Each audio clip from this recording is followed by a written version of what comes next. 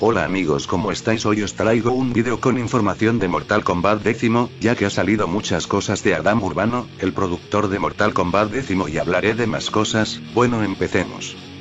Adam Urbano, el productor de Mortal Kombat décimo, ha confirmado que Hon Mikage y Kenshi regresarán como personajes jugables en esta nueva entrega de la saga.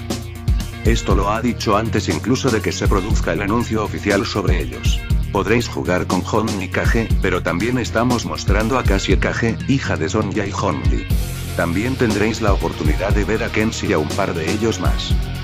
También esta semana pudimos ver las primeras imágenes de Hax junto a Sonja y a Hon Kage, como veis están un poco más viejos los tres amigos, ya que la historia del juego es 25 años después de los sucesos de Mortal Kombat 9, también esta semana salió una imagen de Kenshi que pertenece al juego para móviles de Mortal Kombat X, su aspecto es más viejo pero todavía conserva sus buenas habilidades de espadachín.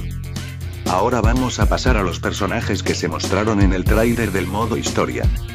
Takashi Takeda el hijo de Kenshi, su aspecto es ya de adulto, ya que en los cómics lo vimos de pequeño entrenando con Escorpión, las habilidades que tendrá serán más o menos como la de su padre, ya que en el tráiler se vio muy poco sobre sus habilidades, lo único que se pudo ver fue, como unas especies de látigos o cadenas que saca de abajo de sus manos. Kung Jin el hijo de Kung Lao, es un arquero y tiene muy buenas habilidades tipo Arrow.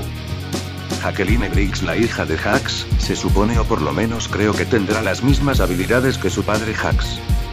Sub-Zero también conocido como Kuai Liang, se pudo ver el aspecto que tendrá y en su traje tiene letras chinas, como en entregas anteriores también se pudo ver esas letras chinas, también es ahora el líder de los Lin Kuei y tiene muchos guerreros a sus órdenes. Milena también salió en el tráiler y está intentando de recuperar su reino, lleva un amuleto que contiene un poder muy peligroso. En el tráiler también se pudo ver a Sindel la madre de Kitana, Erron Black pistolero y mercenario, Shinnok el dios mayor caído, Rain también salió y un personaje misterioso que no sé quién es, estos personajes lo mostrarán más adelante supongo. Ahora vamos a pasar a una cosa que me tiene dando vueltas en la cabeza, creo que nadie se dio cuenta de estos dos personajes.